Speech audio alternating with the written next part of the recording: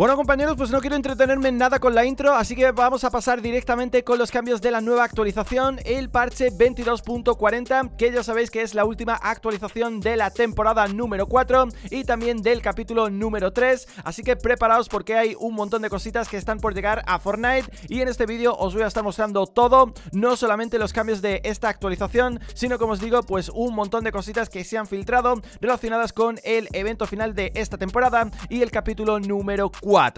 Dicho esto, vamos a comenzar con el vídeo. Tenemos una actualización que ha ocupado 4,9 GB en el caso de PlayStation 4, 4,5 en la PlayStation 5, 4,3 en Xbox Series X, 2.36 en el caso de PC y el resto de las plataformas no sé cuánto ha ocupado, pero bueno, el caso es que es una actualización la cual trae bastantes cositas, así que vamos a comenzar con todo lo nuevo en este parche.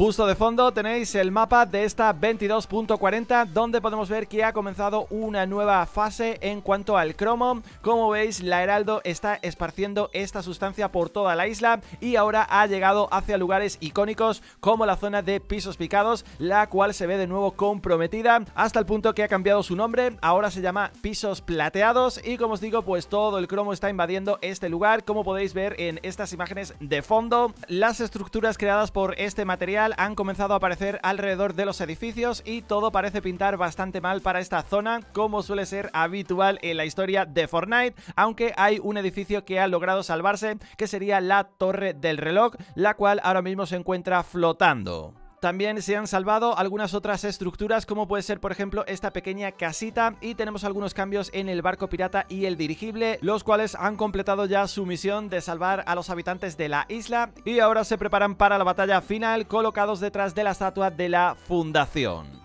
Lo primero que vais a ver una vez que entréis al juego es que la lobby ha cambiado y ahora se encuentra completamente invadida por el cromo y un nuevo vehículo ha llegado a la isla. Justo hoy acaba de comenzar una nueva colaboración con el juego Rocket League y el vehículo Octane ya está disponible en las partidas de Battle Royale.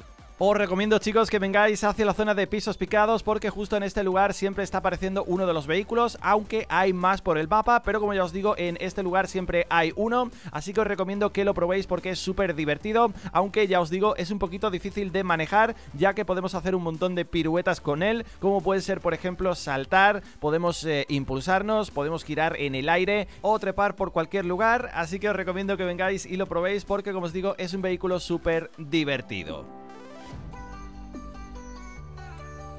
Un nuevo objeto ha sido añadido en esta actualización 22.40, se llama Lanza Deltas y básicamente es una pistola de ventosas, la cual es muy parecida a la pistola de ventosas normal, pero esta abre el paracaídas una vez que la usamos, se nos va a estar abriendo el ala delta de una manera muy similar a lo que ocurría con la pistola de gancho de Batman, así que bueno, pues que sepáis que este objeto también está disponible, podemos encontrar los lanzadeltas en el suelo, en cofres, en cofres cromados y en entregas de suministro y tienen cargas limitadas, en este caso de 10, por lo que se van a estar acabando bastante rápidos, así que os recomiendo que los guardéis para cuando sea estrictamente necesaria.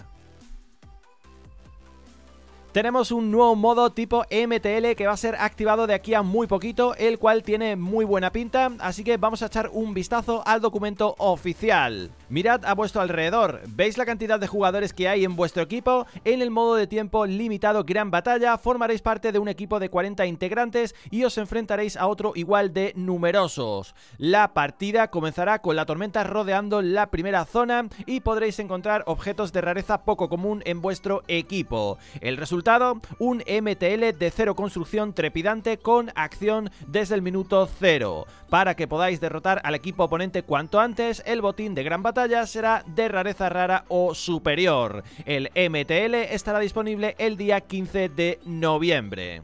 Pues bien chicos, nuevo modo de juego que como os he dicho tiene muy buena pinta y va a ser activado el día de hoy, si no me equivoco, a las 4 de la tarde, así que seguramente cuando estéis viendo este vídeo ya esté activo.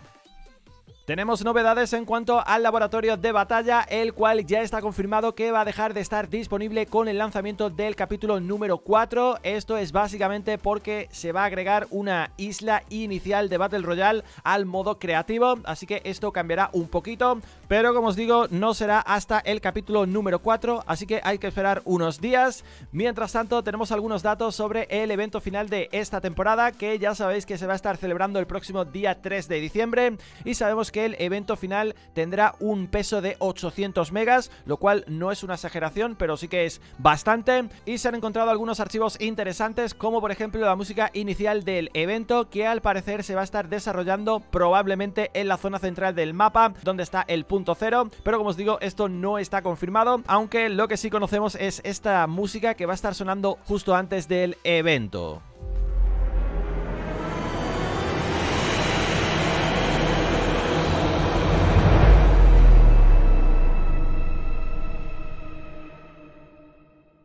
Con el lanzamiento de este parche se ha corregido un error que provocaba algunos bugs con los trajes de los pases de batalla de temporadas anteriores. Ya sabéis que en algunas ocasiones le faltaban colores, pues esto ha sido arreglado y por cierto el vehículo Octane no estará incluido en las colas competitivas, ¿vale? Importante que sepáis eso.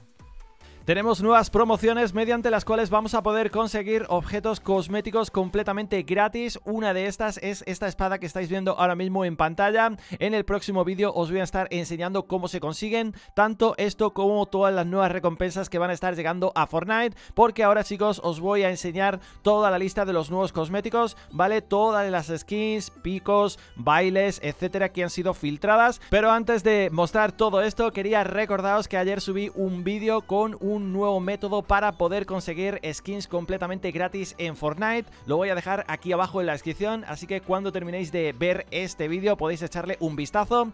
También aparecerá en la outro cuando terminéis de ver todas las skins filtradas, así que os recomiendo que lo veáis porque en él os muestro un método para que podáis conseguir skins y el pase de batalla de la próxima temporada completamente gratis.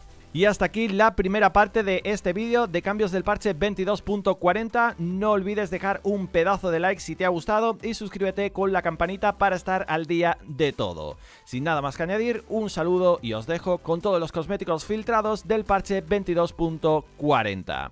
Un saludo y nos vemos en el próximo. Adiós chicos.